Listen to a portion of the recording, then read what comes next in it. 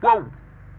Haha, come here, boy. No point in running. Oh god, what do I use to fight a ghost? Think, think. Don't you see it? See what? All your allies are down for the count. My brother will skin your brother alive, and I'll take over your body. Why? Who the hell are you guys? It's for King Hollow. Your people banished him, and now we'll banish your friends and take over your lives. But that's only part one of the plan. Oh yeah? What's the rest? Wouldn't you like to know? Huh? What the hell is that? Oh, no, no, no. Oh, yeah. No, please, not like this. Wait, I know where Mario is. Mario? Yeah, Mario and these nuts. Ha! Got him. You'll die today. It was worth it. Thanks, do you have anything for that guy? How dare you take my brother? I'll oh, have your head, Luigi. But at least now I don't need Andrew alive. Hey, Luigi, I got a plan. I want you to get his attention and make him come over here. Okay. Hey, I sucked your brother, and I'll suck you too. Huh, gay. Not that there's. You're crazy if you think you could stop me. I'll oh, oh, have my flesh, and I'll get my vengeance for my brother. I'll see you in hell. Uh, uh, huh?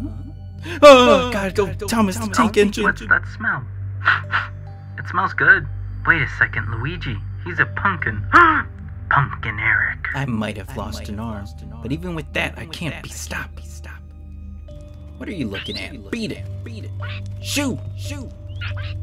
Um, I don't like this. Oh God! Oh God. Why? No, please. This is so stupid. Well, that was horrifying. Um, thanks again for your help, Luigi. Um, Luigi? Hey, what the? You're letting me go? Oh, sorry, my king.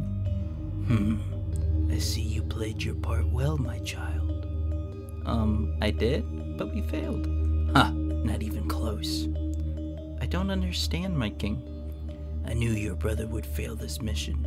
He's too reckless. His ego made him blind to the big picture.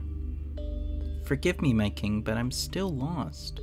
Ha, that's okay. All you need to know is that one day we'll return and be the rulers of this world, or at least what's left of it. I feel bad for what they'll have to face once the day of awakening comes.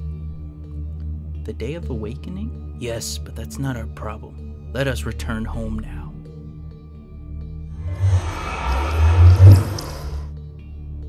Hey, the mist is finally cleared up. I guess it's over, huh? Yeah, it's over. But I still have so many questions. Like, who are Why they? did they want our flesh?